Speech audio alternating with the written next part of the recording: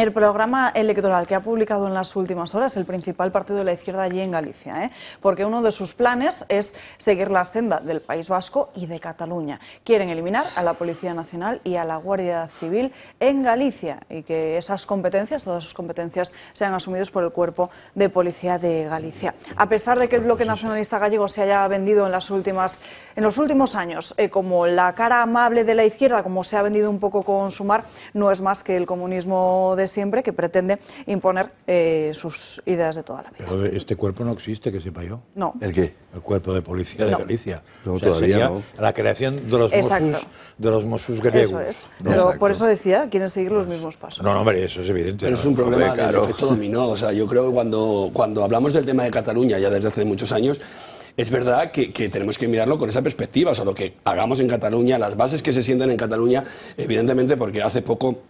Hablaba eh, Miguel Tellado, nuestro portavoz, en el Congreso y le preguntaba a Bildu que si luego querían amnistiar también a los presos de ETA. Y efectivamente, y es que eso es así, en el momento que tú abras la mano con una amnistía, con un, con un tipo de, de delitos, van a venir los de al lado, los de al lado, los de al lado, y pues mira, hemos llegado justo a, a la parte oeste del país, desde, Cataluña hemos llegado a Galicia.